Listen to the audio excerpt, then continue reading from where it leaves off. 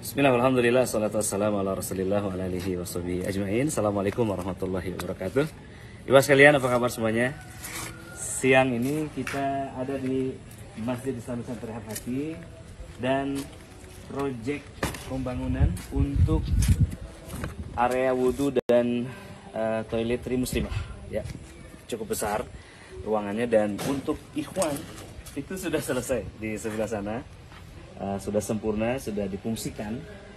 Dan uh, ahwat ini ya, areal ini nantinya saya sebenarnya anda lihat insya Allah ya.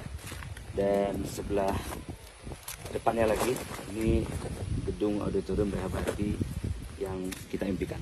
Nah mumpung belum selesai masih ada kesempatan untuk investasi. Di sini berapa saja?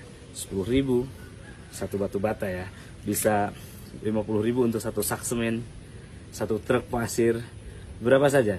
Kami menyeru kaum muslimin untuk membangun bersama Islamic Center Habat ini karena ini dibangun di atas tanah wakaf jadi dari kaum muslimin untuk kaum muslim muslimah yang ingin singgah belajar dan mendapatkan terapi konsultasi Al-Quran ya dengan model Tazkiyatun Nufus bil Quran insyaallah. Selain daripada uh, toiletry ini ya, kita juga ada sedang membangun uh, gerbangnya ya dan juga proyek lain yang terus uh, kami gulirkan ya untuk memenuhi dan mengakomodasi kebutuhan kaum muslimin yang sangat besar.